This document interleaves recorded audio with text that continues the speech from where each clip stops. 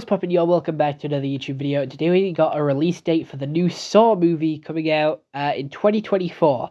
They have done the release date in Roman numerals, so it does take a little bit of math to work it out. It's coming out on the September the 17th or 27th. Um, it's coming out in September 2024. Uh, that's that's all I know. Um, so be excited.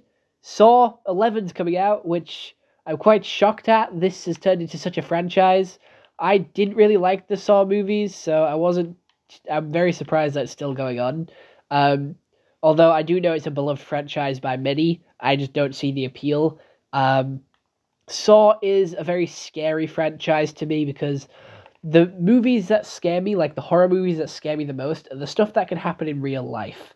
And I feel like Saw could technically happen in real life, uh, more than like demons or zombies or werewolves or vampires.